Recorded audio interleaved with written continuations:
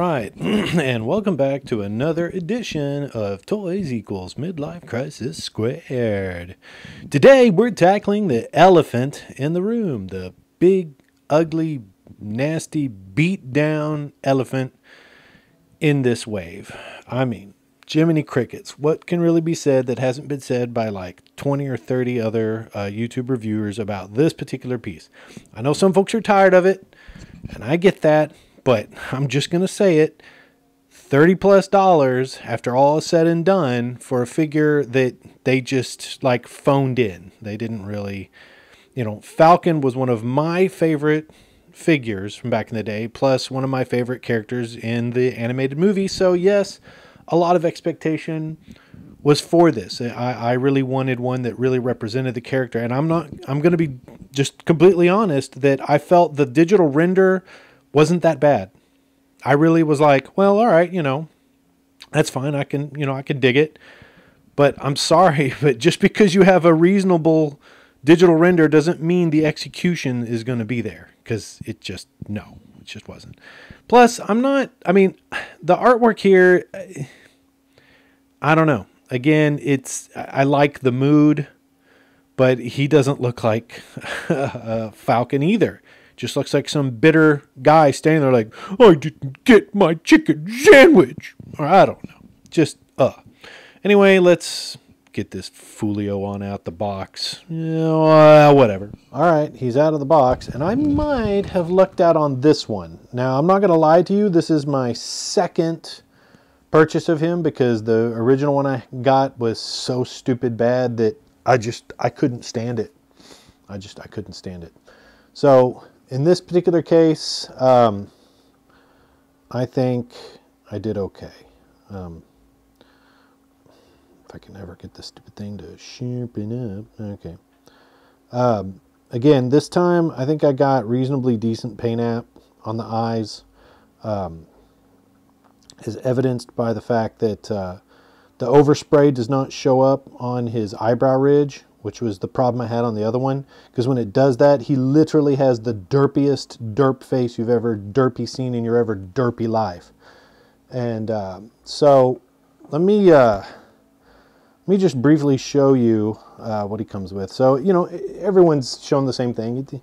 He's got the wet gear that um, that kind of sticks up too far because it's meant to be that his shirt is untucked and uh, unfortunately, for the most part, since it's a different grade of plastic, it has a different sheen than the rest of the, because they're using like a, really hard plastic and then a really soft plastic, and the colors don't really match up, so he ends up looking awfully awkward. I don't really particularly mind. I, I kind of dislike the fact that the camo color is so faint that it's almost negligible. You might as well not have even put any uh, uh, camo whatsoever. I mean, it, to be honest, they could have just made him one solid color and that, that would have been all she wrote. It would have been just fine. But other than that, the details are not too bad. The, the neckerchief is annoying. Uh, I think what I might do is heat it up and push down on it so that it permanently molds into its position.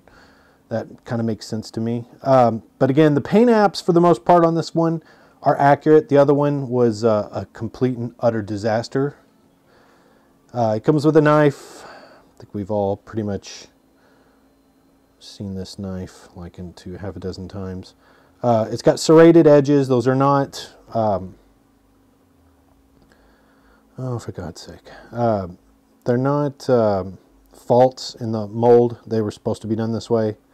And again, it's not bad. It's not terribly rubbery, thank God. They kind of ditched that option. Now, this is something I have not seen anyone else do, and I figured this out for myself. So this backpack has three different types of plastic. This uh, rope thing could, it's glued in, but it's pegged on. So technically speaking, you could take this off if you wanted. The, uh, uh, this is not at all uh, glued in. It's just pegged in. So you don't have to keep it there if you don't want to. Uh, but it does plug in and it's uh, the thing it plugs into is a separate piece of glued in plastic. The knife of course slides into uh, the backpack like so. Some year the yeah. Comes with this kind of sort of terrible shotgun. Uh, it, it, does look kind of like a spaz, um, and yeah, it folds over, but the this little clippy here is so loose, it just tends to pop off, and it's it's just awfully uncomfortable. I'm not likely to have him use this. Uh, see, look at that. I just tossed it. I just tossed it. Come on, son. This is the just, oh, God, for God's sakes. Whatever. Oh, you know what? Just whatever. My God. I'm telling you, this is going to be the most egregiously angry uh, reviews ever. So silly of me. Anyway, he comes with this ridiculous beret that uh, apparently won't come into focus ever. There we go. Uh, I think it's a little too tall because when you fit it on his head, his head's already somewhat oversized, but when you fit this, it makes his head even taller. But uh, overall, though, like I said, on this particular sculpt, it's not bad. But there is something I want to show you uh, that's kind of a sort of a problem with the head sculpt that's part of a design problem.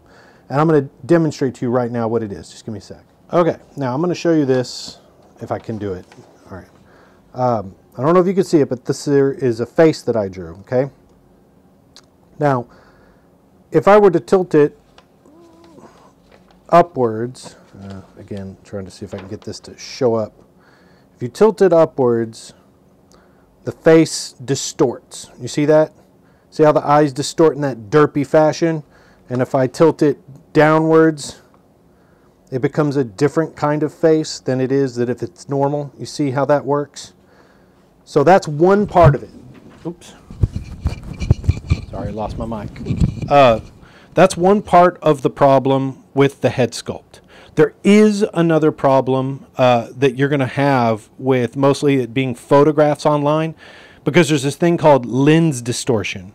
And when you have a low millimeter lens, like 12, 24, uh, that's basically fisheye wide angle lens, and it will distort by making kind of a stretched out bubble of anything that you take a picture of. So telephones or our cell phones or whatever have a very low millimeter uh, lens on it, like 12, you know, and that's going to stretch and distort the image. So that's why a lot of times you're going to see reviews where it's like, well, this this looks better in hand than the photographs I've seen. Well, yes, that's because the lens distortion has stretched out the features to the point where it looks like poop online, but then when you get it in hand, it doesn't look quite as poopy as it did when you saw it. And uh, here, uh, Poopy Falcon suffers from that particular issue. So a lot of his very poor head sculpt was due to um, lens distortion. Like even right now, I'm shooting at um, roughly 35-ish uh, millimeter range.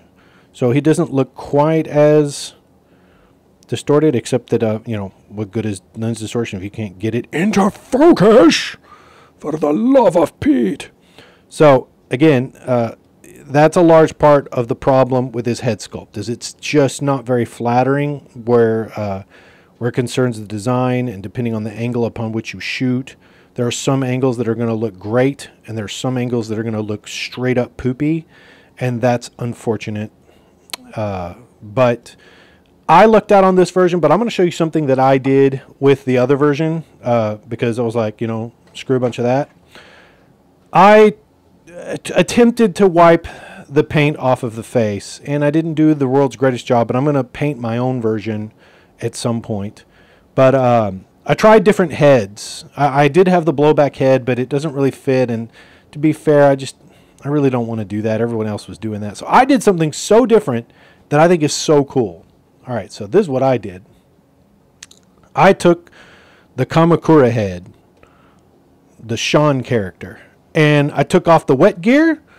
And you know what? It's pretty dang cool, in my opinion. I think he just is like, you know, what amounts to be a grunt. Like he's like, you know, fresh out of uh, GI Joe training camp or whatever.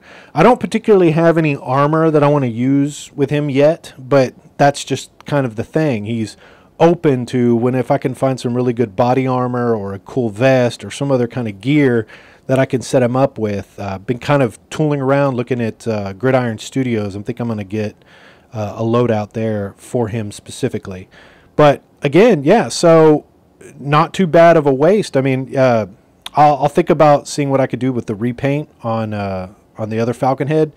But I like me. I like this. So uh, all in all, not too bad. Not not quite as disturbathon as like the um, Outback was when I reviewed him. So, like for example, uh, just fresh out of the box. Oh, look at that! I can move my arms. Yay! And good legs. Now, uh, I did have to do a lot of tooling around with this one because like the legs were super stiff, and it's not because like I said in another video, it's not because the joints are really too tight, it's because there's a lot of flash. You know, they yanked these things out of the mold before they finished somehow, and as a result, you get this these bits of free hanging plastic that lodge into the joint and make it impossible to move. And so it looks clean from the outside, but on the inside of the joint, it's all kinds of messed up. And this, once again, is a QC failure from Hasbro. Like, Hasbro, bruh, bruh, bruh. What's wrong with you, man? What is wrong with you? Like, dude, I get it. You guys want money. You're greedy for the money. But, you know, you got to deliver a product that works, man, especially for nearly $30 a piece. You have to deliver. I am so hoping that with the next couple of uh, releases that they do a much, much better job.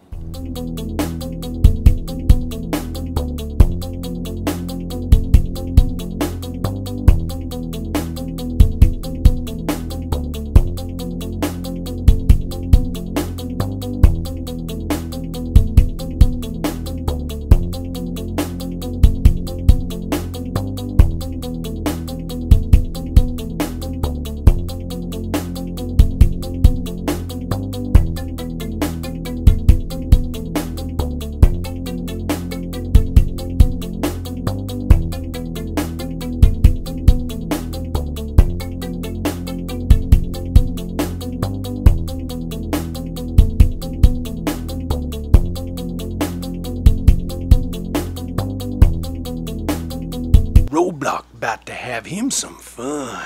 That's right. Come at me, bro. Come at me. I dare you to come at me.